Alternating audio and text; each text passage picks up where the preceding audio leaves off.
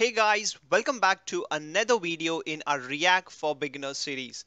So in today's video, we will learn how to build a search functionality in our contact manager app using React hooks. Let me show you the demo. So I'm fetching this contact list from our JSON server and I have added this new feature, the search contact, which will actually search the contacts in this contact list. So we can search the contacts by its name or we can also search the contacts with the email address. So if I type at the rate gmail.com, then it's going to give me the results based on the email address. Also, our search is not a case sensitive, so we can use the uppercase or we can also use the uh, lowercase so it doesn't matter so if this sounds interesting then stick around also don't forget to subscribe the channel and press the bell icon so that you don't miss the videos like this one so let's get started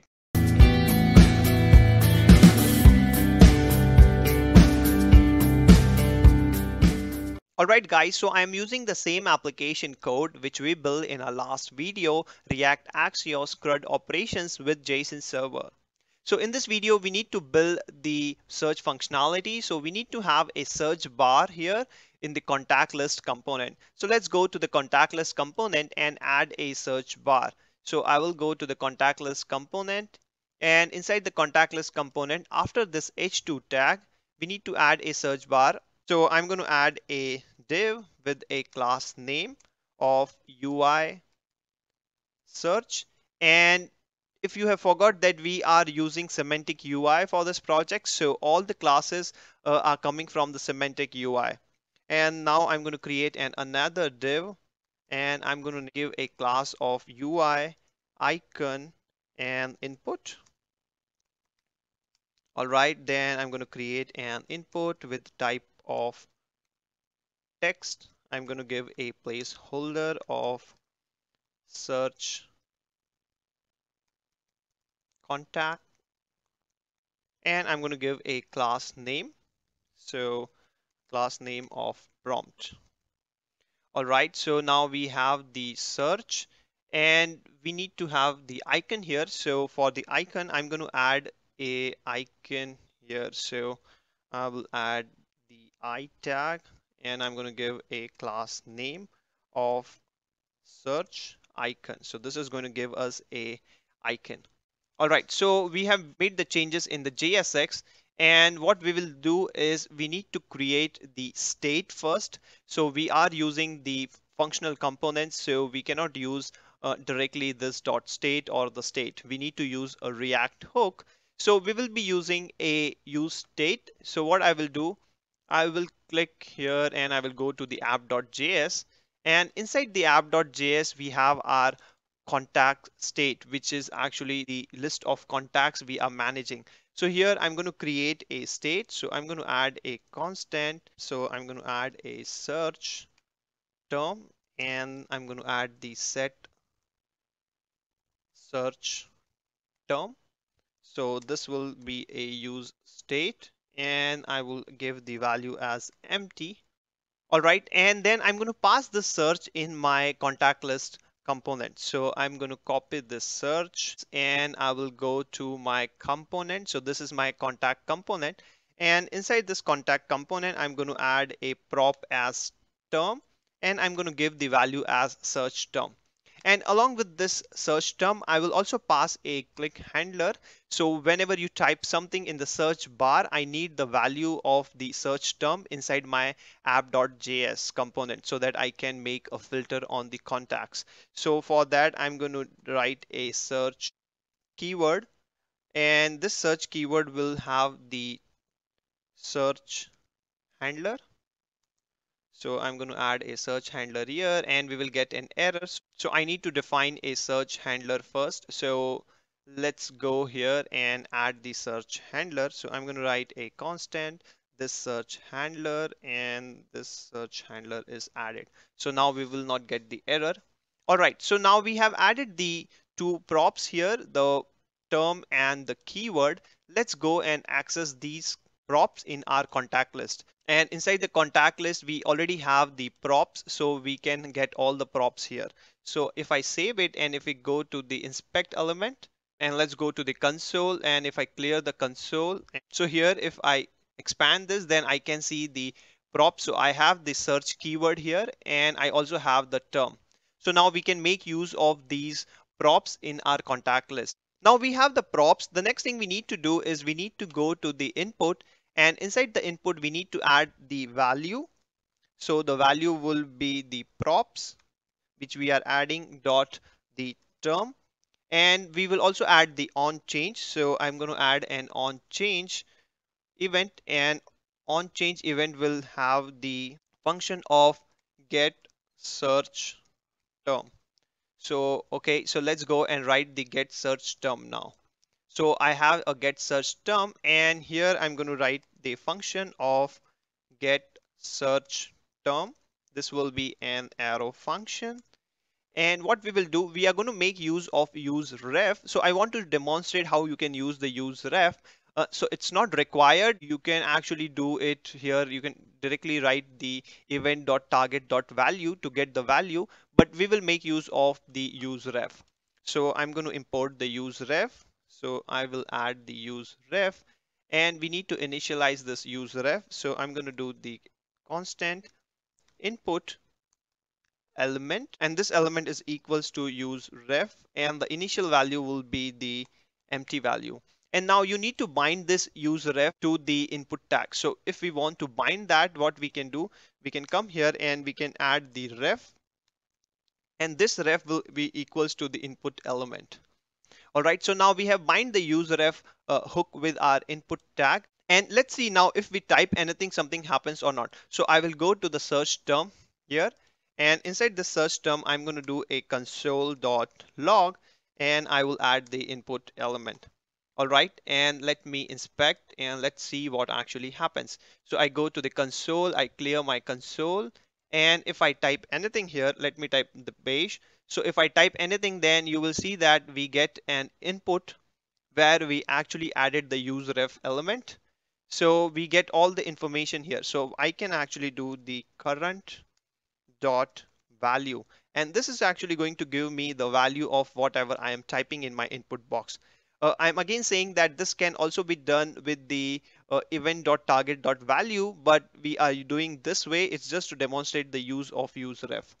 So now if I refresh it and I clear the console and now if I type Dipesh, then I should be able to see that whatever I am typing. So now we need to pass whatever we are typing in the search bar to the app.js. So for that, I will just remove this for now. And if I go to app.js, we have added the search keyword as a prop. So let's go and add this prop. So I'm going to use props.search keyword.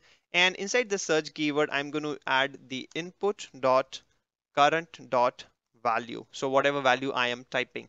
All right. So now we have the value. And if I go to the app.js and in the app.js, we already have the handler. So this handler will actually have a search term as a argument and then we are going to do a console.log of the search term. So let's see what we get here in the search term.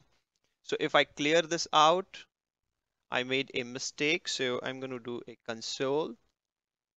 All right, if I clear this out and now if I type Dipesh, then I am getting the value as Dipesh. So what I'm going to do, we will take the search term and we will actually set the state. So we have already taken a state of search term and set search term. So we need to set this state. So I'm going to remove this and I'm going to do a set search term. And inside this, I'm going to add the search term.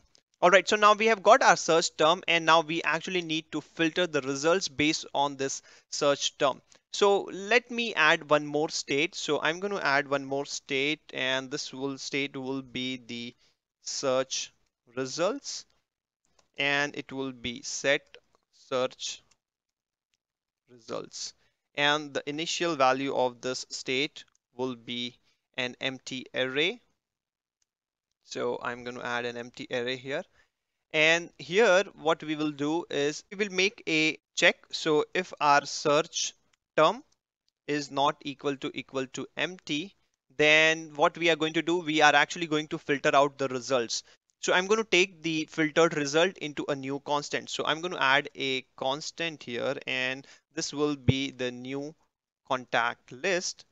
And I'm going to filter the contacts dot filter and on the filters I'm going to get my contact back. All right this will be an arrow function and we need to return the contact which actually matches the criteria.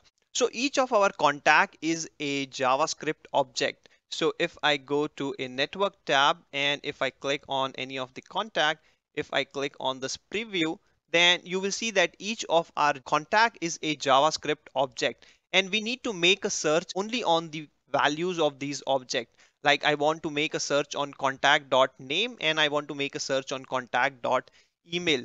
So for that, what I'm going to do, I'm actually going to use a object dot values and this is going to give me the values of the contact. So if I actually do a console log here, so let me do a console dot log so that so that we can see what we are getting here. So I'm going to save this and I'm going to go to the console and I will clear this out. So let me remove a console log from here so that we don't get all the logs.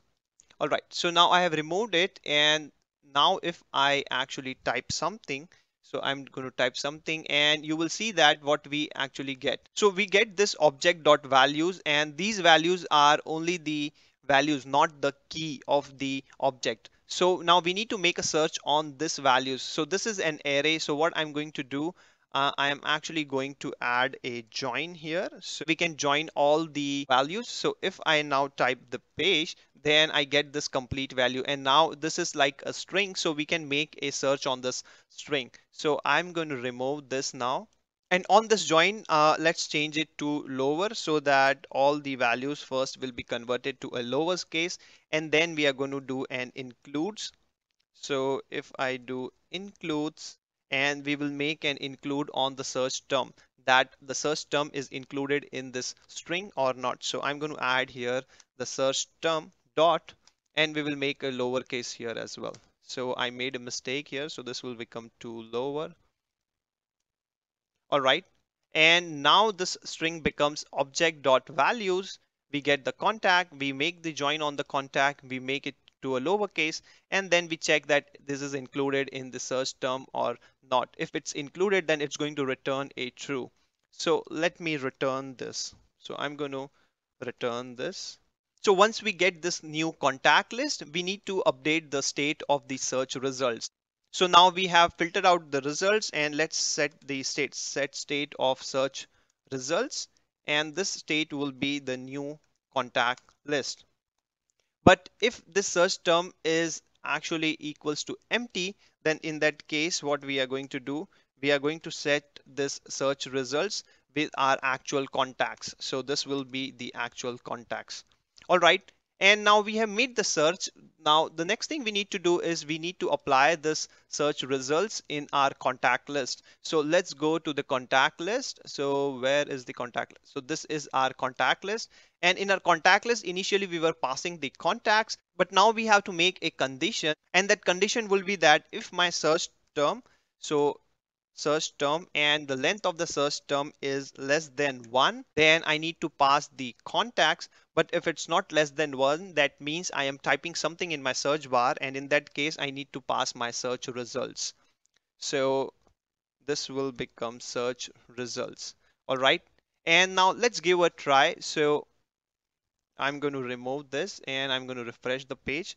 And now if I want to search something, I'm going to type Dipesh and I'm able to search. If I type in caps lock, then I'm uh, still able to search. If I type the Outlook to check that anyone has an Outlook email, then I can still search. And if I type some gibberish, then there is no results. So there is no results for that. What we can do, we can actually go to the contact list and inside the contact list, we have this render. So here we can actually do that if the render dot length is greater than zero, if it's true, then it should have the render contact list. But if it's false, then we need to show that no contacts available. All right, we have saved it and now we can try if we type some gibberish, we can see no contacts available. And if we have the contacts, we can actually do the contacts and rest of the functionality which we built the add contacts. So let me add a new contact at Brad bay and this will be bay at the rate test.com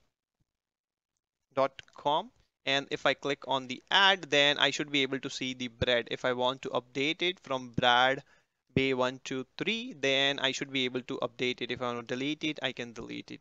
All this functionality is working so that's all I have in this video. So it was a short video, a small functionality, but it's an important functionality which we usually build in our applications. So I hope you like the video. A thumbs up is appreciated. Don't forget to subscribe the channel and press the bell icon so that you don't miss the videos like this one. You can find the GitHub link in the description so that you can download the source code and play around it. You can also connect with me via Facebook or Instagram. You can follow me on Twitter and thank you. Thanks for watching.